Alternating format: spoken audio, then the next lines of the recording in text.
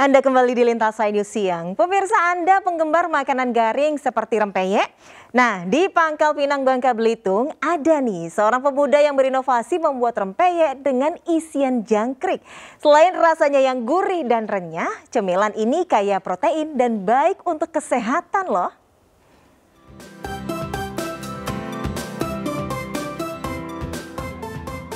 Siapa sangka jangkrik yang biasanya dijadikan pakan burung ternyata bisa jadi cemilan enak dan lezat loh.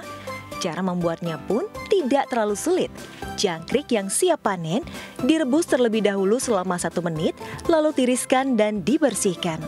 Selanjutnya, siapkan bumbu seperti bawang merah, bawang putih, kemiri, ketumbar, penyedap rasa, dan garam, lalu dihaluskan dan dicampur tepung beras serta telur dan santan kelapa.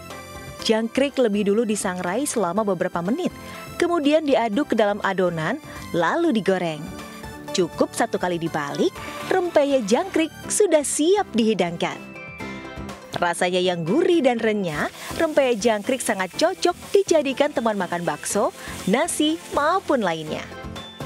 Jadi buat ngilangin rasa takutnya itu makanya ininya dibalikin nih biar nggak kelihatan gitu kan. Kalau kayak gini rasa takutnya itu hilang. Tapi sebenarnya ini enak jadi e, jangkriknya itu pas udah digoreng kayak gini jadi lebih gurih sama kayak rasa ayam Ide awal membuat rempeyek jangkrik ini sendiri tak lain untuk meningkatkan harga jual.